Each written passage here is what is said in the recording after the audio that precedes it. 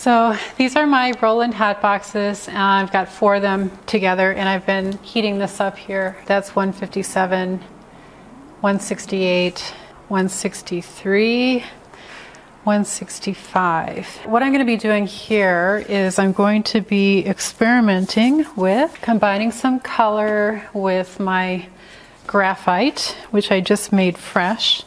I also have some burnt scarlet here, which I just want to see how nice that is. It's, it's actually quite nice. Um, the color, I'm just testing out the color. And then I've got brown pink. And these are R&F. So you kind of want to just let those, um, that's pretty close, this brown pink. And then I've got cadmium red deep.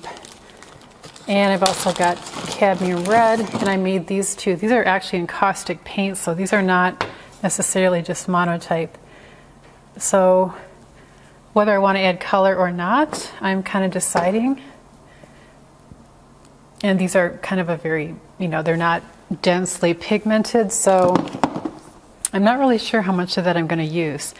But I do know that I want to use my graphite, and I'm experimenting with Kitakata paper, so it's a uh, rice paper, very thin. And it's kind of pretty with that burnt scarlet, though. I kind of like that. So I'm using the whole plate um, which I don't always do, but I cut my Kitakata paper and um, to fit these four boxes, and I thought it'd be kind of fun to make these gestural movements here and use the whole surface and see what happens.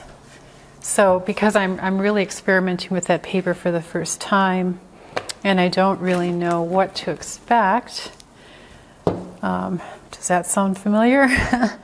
um, so I want to get some of this um, burnt scarlet into the uh, palette, um, but not, not a whole lot. Like I'm not really sure how much I want to add this color, but just for kicks, I'm going to um, kind of selectively add it in parts of the uh, design here. And I look at this as largely a drawing medium because, and the reason I say that is because I'm, I'm really focusing on the mark making. I'm not thinking of composition in that I'm going to like adjust layers and adjust value and all those things. Like whatever I get, I get, and that's it. It either works or it doesn't.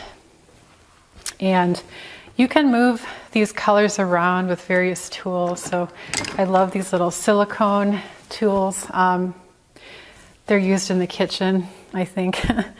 but uh, I, I, just like to, um, you know, see what I can do with uh, just delicate marks and coming in with various tools. You just never know what's going to happen, but um, I do like this delicate mark that I'm getting, and I'm not sure how that burnt scarlet is going to come into play, but it's um, it's working its way in here. It's uh, I think nicely integrated. It's something I have repeated. I've got it repeated uh, within this plate, but probably not as much as it could be.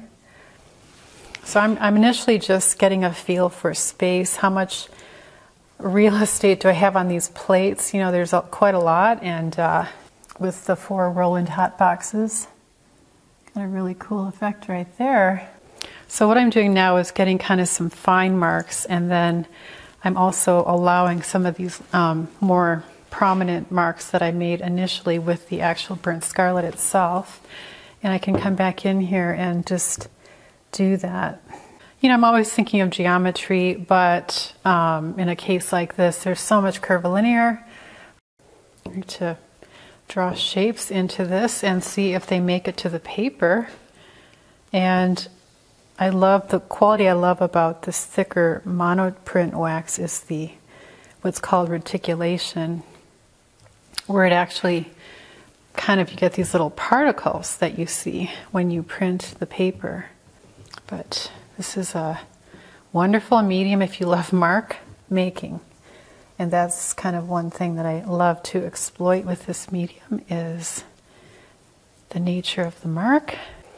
So I can still explore geometry, uh, not so much the rectilinear, but in this case I'm kind of um, playing with the idea of circles, which I love. Circles and dots. I do often have those in my work, and these just remind me of like yarn balls, which is kind of fun. I think of all the different ways that I paint um, in terms of medium, that this is one of the most meditative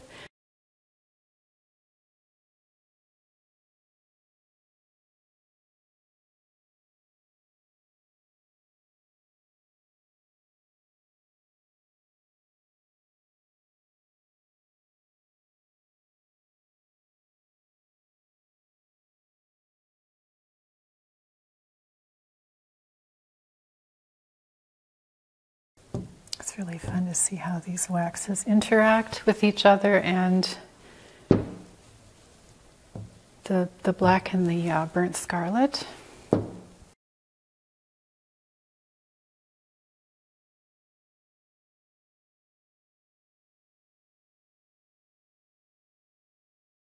This is very intuitive, uh, just, you know, making, like thinking about thick versus thin direction.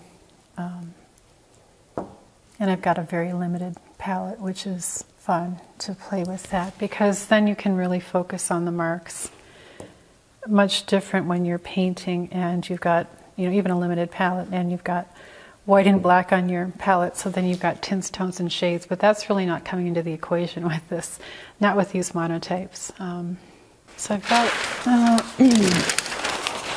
some other colors here I guess I could experiment with here a little bit. Um, here's a gold stick, which is kind of kind of interesting.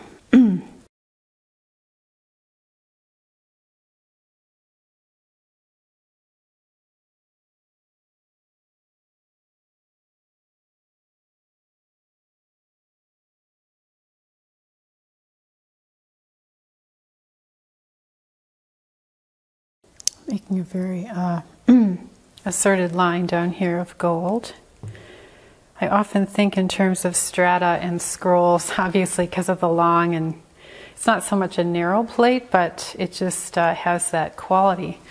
Feeling like a scroll to me, and come in with all these silicone tools and draw into them. So.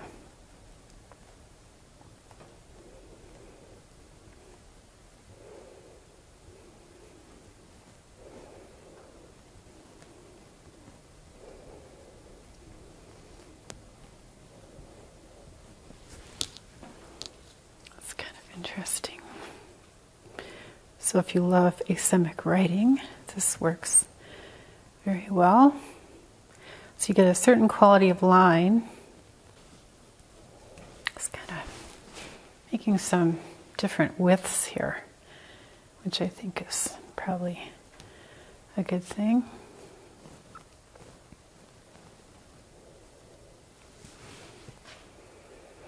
Okay, now I think I can maybe print this. So it's a new paper, Kitakata.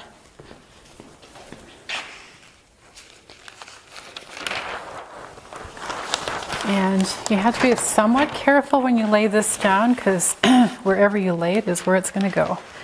I did measure the um, paper, so hopefully this will fit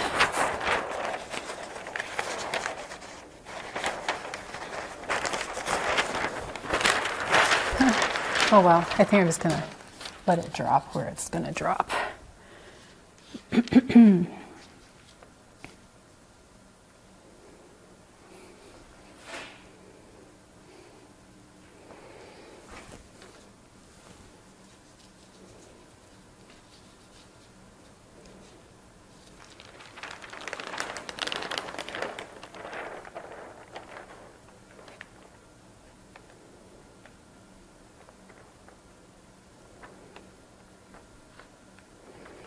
And this uh, paper is kind of a tan color, it's not white.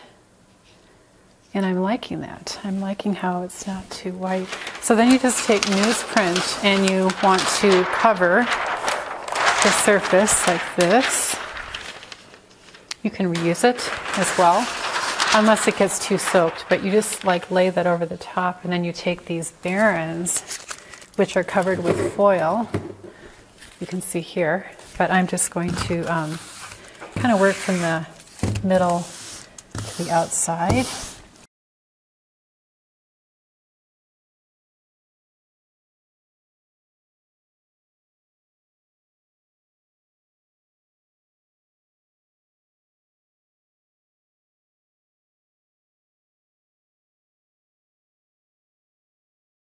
Okay, that's it. Take these off and just lay it like that.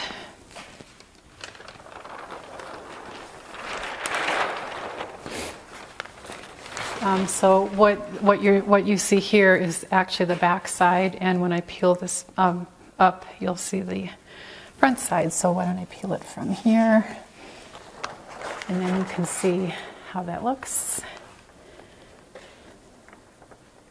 And then you just want to let it cool. And I like to hang it from my wall so that I can look at it. And so there you have it. Um, this is how it looks so far. I think you can see that, but uh, I'll hang it on my wall. Let it dry.